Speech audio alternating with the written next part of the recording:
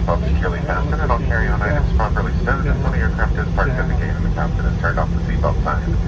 Please remember to use caution when opening overhead bins to avoid injury from items that may shift as during our flight. Feel free to use your mobile devices at this time, and before exiting the aircraft, take a look around your seating area and please make sure you have everything you brought on board with you today.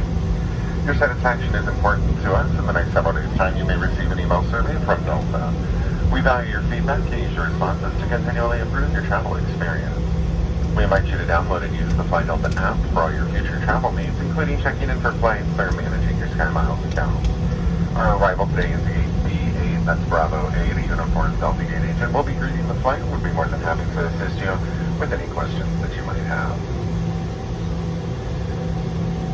To prepare you for a successful customs experience, please ensure that you've downloaded the Arrive CAN mobile app. It's going to be available for you in Google Play or the Apple App Store. Please make sure to complete the required information online. Customs declaration cards are no longer required as you can now verify your identity and make on-screen declarations using one of the primary Please also note if you will be returning to the United States, a COVID-19 test is required. All customers must show proof of a negative test taken no more than one day prior to departure back to the United States. This is required even if you are fully vaccinated. And we do want to thank you so much for your understanding regarding this. That Delta Airlines SkyTeam, our global partners in your Atlanta-based crew, it's been our pleasure having you on board with us today.